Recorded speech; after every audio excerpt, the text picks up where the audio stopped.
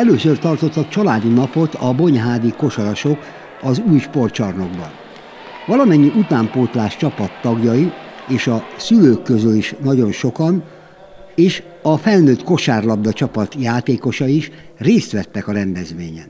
A felújított Bonyhádi sportcsarnokot egy éve adták át, ennek évfordulóján rendezték meg a Bonyhádi KSE családi napját. Az idei évben első alkalommal rendezi meg a Bonyhádi kosárlabda szakosztálya a Kosalás családi napját.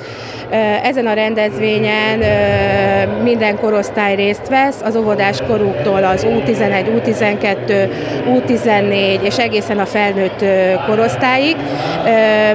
Az volt a célunk ennek a programnak a megszervezésekor, hogy a különböző, korosztályú gyerekek ismerjék meg egymást, mert ugye az edzések különböző időpontokban vannak, és hogy a szüleikkel együtt egy jó közösséget alkotva egy nagyon szép napot töltsünk el együtt. A sportnevelés ugye a legfontosabb, igazából azt edzésen megkapják a gyerekek, ma inkább ilyen játékos formában fogjuk eltölteni ezt a napot. A rendezvény elején egy csoportképre gyűltek össze szimbolikusan a gyerekek Kovács Péterrel, elnökségi taggal, a klub társadalmi elnökével és Bonyhát polgármesterével Filóné Ferenc Ibolyával. Kovács Péter a megnyitójában hangsúlyozta, hagyományőrzés szándékával szervezték meg ezt az eseményt.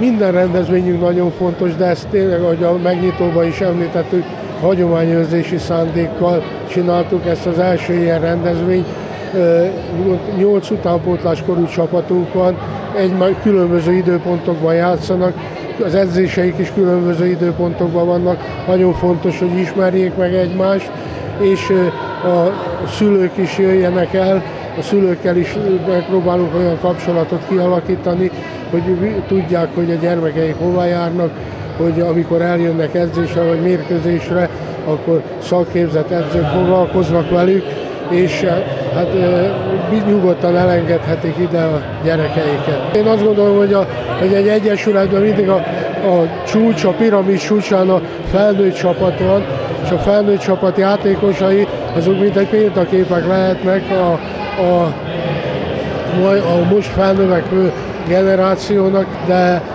a mai csapatban is játszanak még pára, jó páran, akik a korábbi bajnokcsapatok bajnokcsapatnak a tagjai voltak. Az edzői stábban is van olyan például Rutkai Péter, felnőtt csapatban Tömösvári Máté, akik már talán ikonnak számítanak a bonyhádi kosárlabdázásban. A további színes, játékos, kosárlabdával összefüggő programokba bevonták a szülőket is, és a sportággal szimpatizálókat is a szervezők. A kora délutáni órákban egy érdekes meccsel zárult a kosárlabdázás napja Bonyhádon. Mondhatni a közelebbi, illetve a távolabbi múlt alkotta öreg fiúknak hívott csapat meccselt az ifiket juniorokat tömörítő Bonyhádi U20-as együttessel.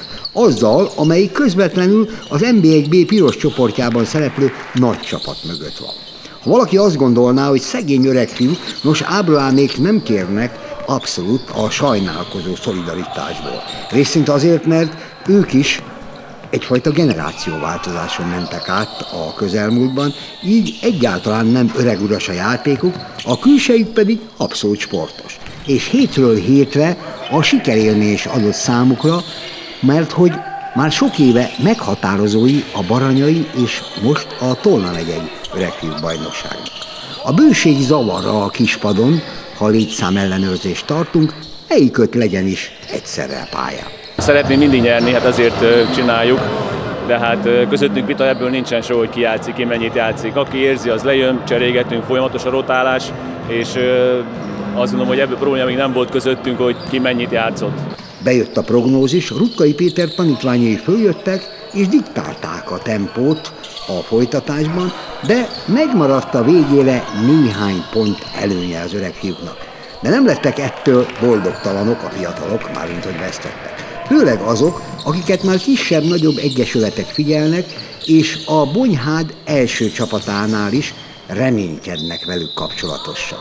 Ott is vannak itt többen ebbe az 20-as csapatból, és Csobán Dávid is ott van ugye a az Edo is, akivel itt az előbb volt az interjú is, ugye ott van már felnőtt csapat edzésen is, és már meccseken is ugye pályára kerültek. Úgyhogy igen, hát szükség van az ilyen tehetséges fiatalokra, akik majd szépen föllépnek, aztán idővel átveszik az öregeknek a szerepét.